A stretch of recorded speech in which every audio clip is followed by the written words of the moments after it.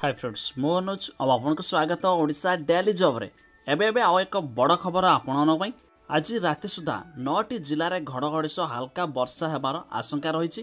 ଏହି ସମୟରେ ପବନର ବେଗ ଘଣ୍ଟା ପ୍ରତି ପଚାଶରୁ ଷାଠିଏ କିଲୋମିଟର ରହିପାରେ ବୋଲି ରବିବାର ଭୁବନେଶ୍ୱର ପାଣିପାଗ ବିଭାଗ ପକ୍ଷରୁ ପୂର୍ବାନୁମାନ କରାଯାଇଛି।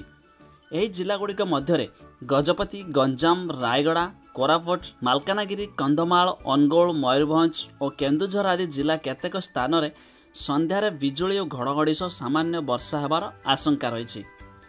କାଳବୈଶାଖୀ ବର୍ଷା ସହ ବଜ୍ରପାତ ଆଶଙ୍କା ଥିବା ହେତୁ ଭୁବନେଶ୍ୱର ପାଣିପାଗ ବିଭାଗ ପକ୍ଷରୁ ଗଜପତି ଗଞ୍ଜାମ ରାୟଗଡ଼ା କୋରାପୁଟ ମାଲକାନଗିରି କନ୍ଧମାଳ ଅନୁଗୁଳ ମୟୂରଭଞ୍ଜ ଓ କେନ୍ଦୁଝର ଜିଲ୍ଲାର ବାସିନ୍ଦାମାନଙ୍କୁ ସେ ସମୟରେ ସତର୍କ ରହିବା ପାଇଁ ପାଣିପାଗ ବିଭାଗ ପକ୍ଷରୁ ସତର୍କ ସୂଚନା ଜାରି କରାଯାଇଛି ଚବିଶ ତାରିଖ ଯାଏ ରାଜ୍ୟର ବିଭିନ୍ନ ଜିଲ୍ଲାରେ କାଳବୈଶାଖୀ ସହ ଧୂଳିଝଡ଼ ଓ ହାଲକା ବର୍ଷା ହେବାର ରହିଛି।